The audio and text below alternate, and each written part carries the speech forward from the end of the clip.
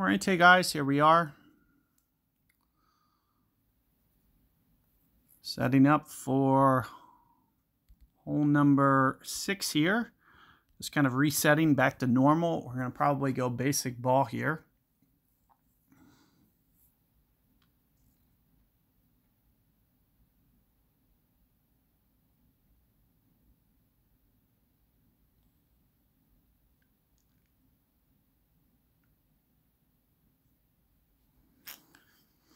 So what I'm probably looking at on this hole is going over to the left-hand side until you can get some reasonable curl um, or, or a big topper or something. You can probably big topper it over here. If you guys didn't see my pro guide, you might want to check that out because I did a big, big topper three and it worked out, which means that, you know, a lot of you guys could probably emulate that shot a little bit with just a little bit different wind direction. So if you could kind of use that technique, probably be a good one opponent there very fortunate to just hold the fairway. The rough there might have been, you know, a little bit catastrophic. So one of the things that you can do is you can kind of just not play into the bunker and just kind of lay it up short. So that's more or less what I'm doing. Maybe about three rings for my play. And what this will do is it, you know, it'll It'll make it to where you don't have to challenge and we can just set ourselves up for a long iron basically.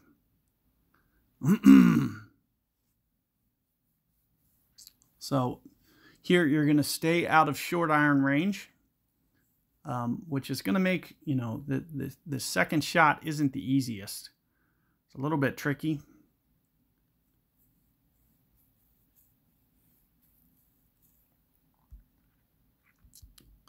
Again, another opponent that's going to be very tricky for me to beat.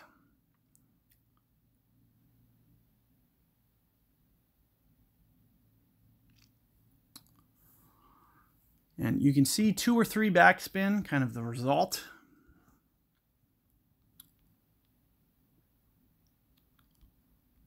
So what I'd like to do is kind of emulate it, but just get just a little bit more aggressive if I can.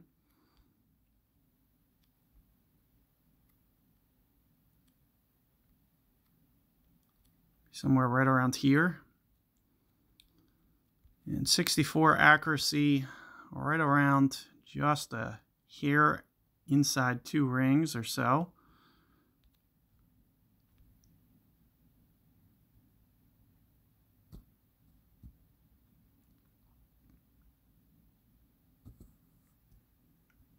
And just, just missed.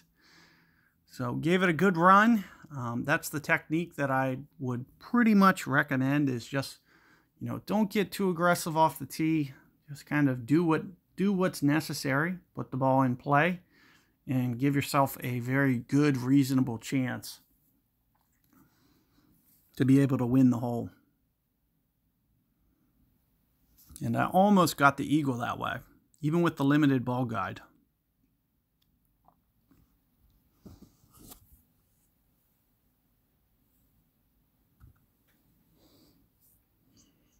So it does show you that it's a very straightforward. Um, very good opportunity there for you guys to take advantage of. Otherwise, now we're going to have to go to the shootout. It's going to make things just a little bit tougher. It's tough to win this one. We're probably going to stick to our shot that we've been doing. Um, you know, kind of as I mentioned, you know, you can land into this fair, uh, into this face and pull this off. It's very risky though. Um, especially, it looks like my opponent's short hitting this a bit, so I have to be very careful to make sure that it doesn't hit too much into the face, and sure enough, that's what it did. Check. Phew. So I don't even think I can get inside that, so that almost worked out perfect. I don't even think I can get the ball that close. So with that being said, you know, it's looking like an instant loss for me, um, unless I was to actually go for that risky shot as well because I don't know if I can get the backbone to run out that far. And I'm going to have to get just a little bit more aggressive than I've been getting. So I'm going to have to challenge that bunker just a tiny bit more.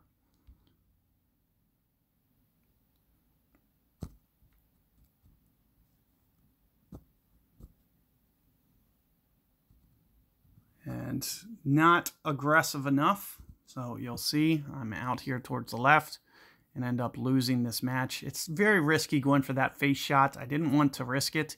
You can see it was basically the difference between my opponent short hit that. Okay, and if it didn't if he didn't short hit it, it would have been nowhere near where he just hit it. So it's a game of that many inches as to how that that worked out. That fortunate for him is just by you know the difference between him putting it in the center of the circle and putting it where he did in the circle. And there's no way of knowing that it was exactly going to play out like that. It's very tough to replicate that. In fact, you've even seen two shootouts so far. You know, one the opponent shot way over the green, the other went into the bunker. So it's a very risky shot. Um, you know, and pulling it off, it was almost essentially impossible to beat. So good luck there, and I'll catch you guys on the next one.